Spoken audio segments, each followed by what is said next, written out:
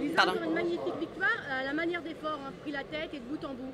Oui, exactement. Le cheval, il était très courageux. Euh, James, il a très bien monté et quand il a demandé, le cheval, il a vraiment bien répondu. euh, donc, c'est très encourageant pour l'avenir. Qu'a dit James après la course? Bah, que le cheval, il était un petit peu bébé toujours. Euh, il regardait un peu toutes les gens, euh, les animations et tout ça. Mais euh, que voilà, ça, ça va lui faire du bien. Il va progresser encore. Est-ce que vous savez s'il serait capable de revenir pour le Grand Prix de Paris pour l'instant, euh, aucune, euh, aucune décision a été prise sur la suite. Merci beaucoup.